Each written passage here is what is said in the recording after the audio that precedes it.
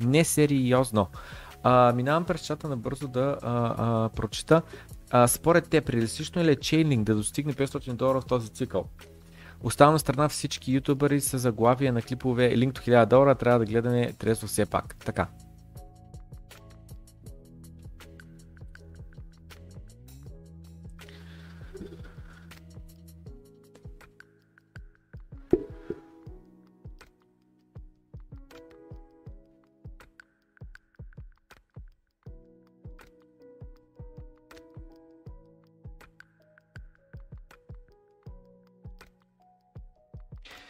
Ако трябва да залагам, трябва да избера една криптовалута, в която да се сложа парите и след 10 години имам право да ги изваря. 10 години.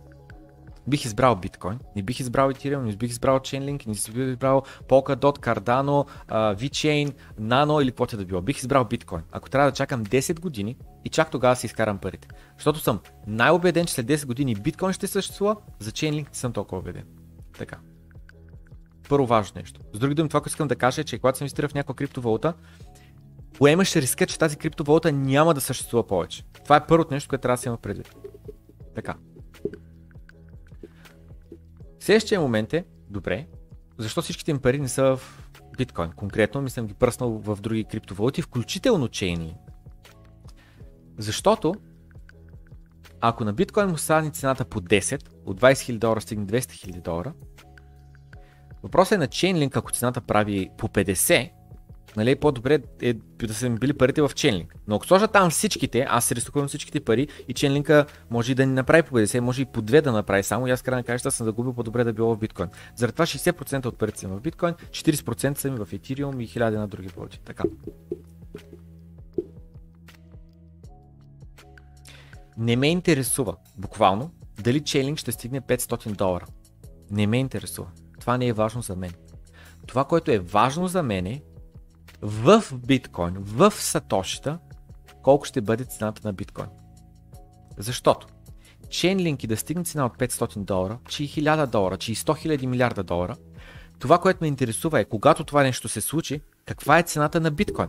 Защото аз така ли, че съм в крипто, това, което ме интересува е, а, кое ще е било по-добре? Да издържа еврото, левовете, доларите в биткоин или в Chainlink. Като, много набързо сега ще отворя uh, TradingView и ще отворя Out to BTC и ще отида на линк. Що няма линк? Много странно.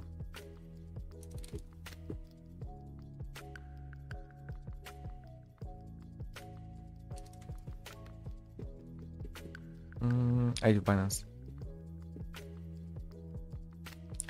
Така, това, което ме интересува е тук. Било е на 140, в момента е 0,67. С други думи, може да направим 2x и да се върнем на all time high.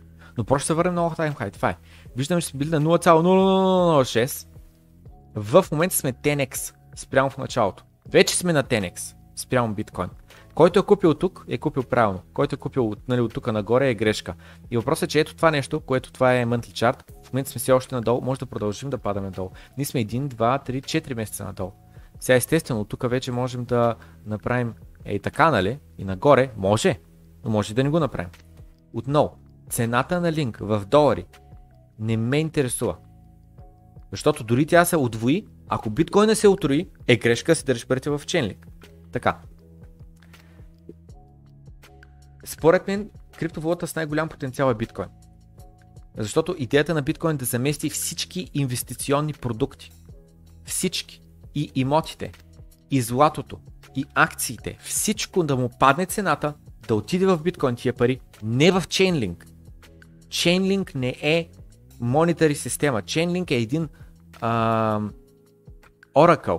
Много е важно да се разберат криптовалутите. Ние си мисля, че аз Chainlink мога да го използвам като пари. Що да не мога? Аз ти го пращам, ти го приемаш, получил си го и той е пари, нали така? Не, не. Те и акциите могат да се използват за пари, нали? Ма никой не транзаква с акции. Chainlink е Oracle. Цената на Chainlink ще се влияе от две неща. От спекулаторите, които ще пъмпват и дъмпват. И от реално каква стоеност ще доставя. За да има нужда от Chainlink, да има нужда от от а, а, Oracle, трябва DeFi да се развива. Ако DeFi не се развива, Оракълите няма да се развиват. DeFi ще се развива, според мен има огромен шанс, само напред нагоре, съответно ще има нужда и от Oracle.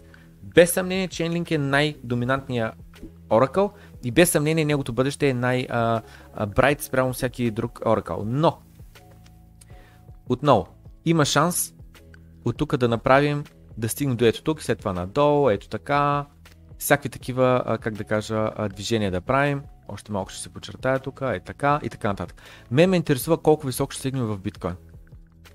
Реалистично е, нали, от тук да стигне до тук, що годе е реалистично. Дали ще бъде така, дали ще бъде ето така, нали, под въпрос е. Реалистично е, заради държа част чейнлинг. Но, ако човек си държи всичките пари в чейнлинг, прави огромен риск и не си заслужава. Защото отново, нека всички зададем този много важен въпрос. Ако трябва да сложиш всичките пари в една криптовалута и нямаш право да ги пипаш 10 години, коя криптовалута ще избереш?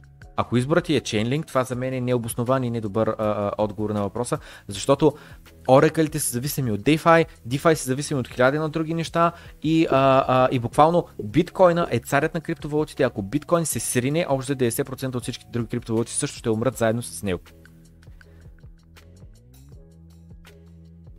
Има ли шанс да стигне 500 долара?